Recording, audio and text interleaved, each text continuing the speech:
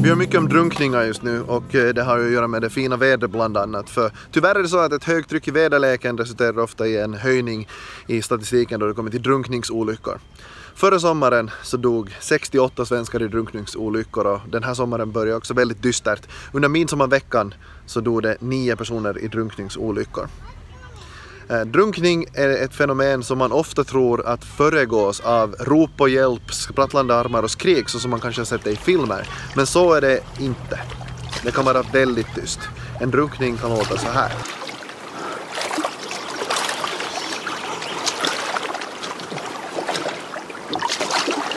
Typisk drunkning kan se ut som så att man inte anar att man är på för djupt vatten bokstavligt talat och lägger all kraft på att hålla sig flytande och försöka andas. Och eh, när man väl sen inte orkar då har det gått alldeles för långt i drunkningsförloppet så att all kraft läggs på att hålla sig flytande. Och man har därför inte möjlighet att ropa på hjälp. Drunkningsförloppet är generellt jättesnabbt och det är alltid från 30 sekunder till några minuter. Och man kan dela in det i två faser. Det ena är fasen där man faktiskt fortfarande har krafter kvar och orkar hålla sig vid ytan. Men sen nästa förlopp, fas 2, då man faktiskt börjar inandas vätska. Det går jättefort. Och det kan röra sig om någon minut bara. Det kan alltså gå väldigt fort och det kan gå väldigt ljudlöst. Men det finns saker man kan göra för att undvika en drunkningsolycka. När man eh, kommer till stranden så ska man hitta eh, ett ställe som man känner sig trygg och som känns behagligt. Det kanske finns lite skugga och, och sådär. Men också att man kollar in vad stranden heter. Eh, att man har pejlat av stranden vart det finns räddningsutrustning. Eh, att man också innan man släpper ut barnen i vattnet faktiskt har kollat själv. Hur varmt det är i vattnet, hur botten är, vart det är djupt, eh, vart ungdomarna kanske leker lite häftigare. Så att man gör en liten, en liten inventering själv, en liten check av badstranden. Tidiga tecken på drunkning kan vara faktiskt så pass tidigt att man ser ett litet barn ensamt på stranden som rör sig mot vattnet. Redan där så bör man agera på något sätt. Därför att om det här lilla barnet utan puffar eller flythjälpmedel på något sätt tar sig och hamnar i vattnet så kan det bli livsfarligt.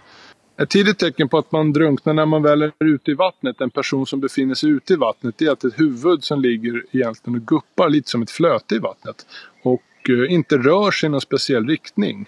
Eh, då kan det vara en indikation på att den här personen är just i det här tillståndet att den kämpar för sitt liv för att hålla sig flytande. Och då är det jätteviktigt att agera snabbt. Man bör eh, se sig om om det finns någon anhörig eller någon som uppmärksammat det här gör. Ser man inte det, ropa på hjälp. Försök få iväg ett larm till 112 att vi har en drunkning. Eh, och se dig om efter livräddningshjälpmedel för du kommer behöva flythjälp och det som vi kallar för förlängda armen. Förlängda armen och särskilt vid drunkning så är det jätteviktigt att ha ett flytredskap med sig ut i vattnet. Därför att det är jobbigt att livrädda någon. Eh, barn som vuxen. Och förlängda armen är någonting som man har mellan sig själv och den personen man ska rädda. Vi tycker att livbojen är jättebra men det kan också vara en flytmadrass, det kan vara en handduk, ett rep eller liknande. Men särskilt då att någonting som flyter. Det simmar man ut med om man känner sig eh, redo och man känner sig kapabel för att simma ut. Och det är därför som det är jätteviktigt att man tidigt har ropat på hjälp. Så att man får fler personer till platsen som kan hjälpas till. Och det här är inte någon lätt sak. När man väl har identifierat att en person behöver hjälp ute i vattnet. Man har sitt flytredskap, man har larmat 112, man har ropat på hjälp. Man känner sig redo för att gå i vattnet och simma ut. Då simmar man ut till personen och man har flythjälpmedlet framför sig och räcker fram det till personen. Förhoppningsvis är den vid medvetande och man kan försöka prata lite lugnande och få personen att ta tag i det här flytetyget. Har man en livboj ska man försöka få i personen i livbojen. Eh, har man inte det så får man försöka hålla fast dem vid flytetyget och boxera in dem mot grundare vatten. Eh, för nu vill vi försöka få upp dem på land så att vi kan påbörja eventuell hjärt och lungräddning. När, när du får upp den nödställde personen på land så gör du återigen en medvetandekontroll eh, Eh, för att förhöra dig om hur personen mår. I bästa fall så är personen talbar. Du kan ställa lite frågor. Eh, du kanske har någon anhörig på plats som finns där med en handduk och, och ni kan tillsammans ta hand om personen. Eh, I värsta fall då, det sämsta scenariot är att man har fått plocka upp någon ifrån botten som är medvetslös.